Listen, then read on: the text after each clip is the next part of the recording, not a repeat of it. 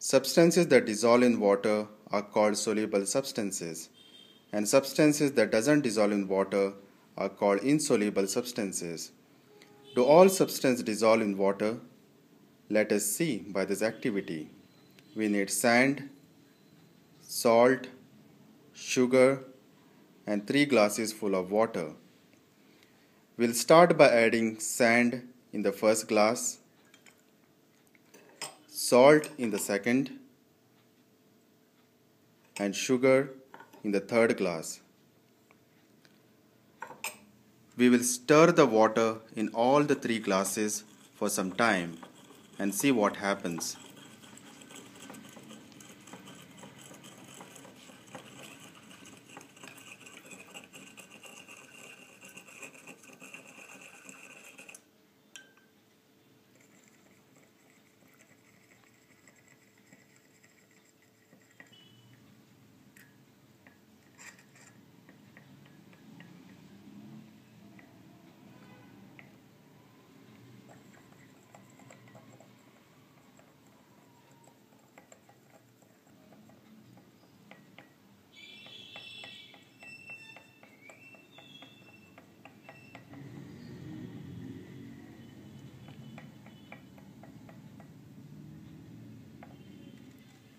What do you observe?